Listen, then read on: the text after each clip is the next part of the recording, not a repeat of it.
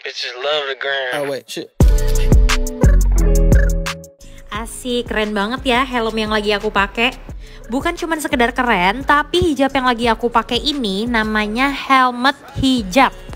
Bener banget, emang helmnya ini didesain khusus untuk kita yang berhijab.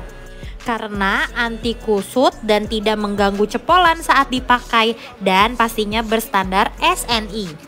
Jadi buat kalian yang suka naik motor tapi suka keganggu sama helmnya, bisa langsung cek aja Carglass Helmet.